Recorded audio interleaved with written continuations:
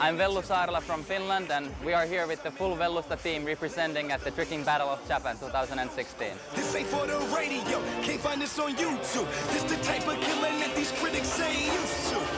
Tricking is a mixed uh, sport between uh, breakdancing, gymnastics, acrobatics, and martial arts.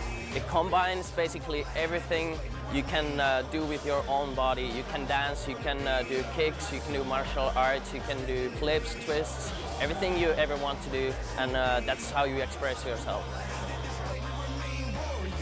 The tricking is really going through a evolution. Like uh, it's the power moves are getting crazier and crazier every year.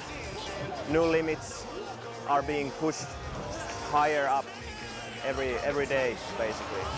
An idol, long enough to pay for my attention.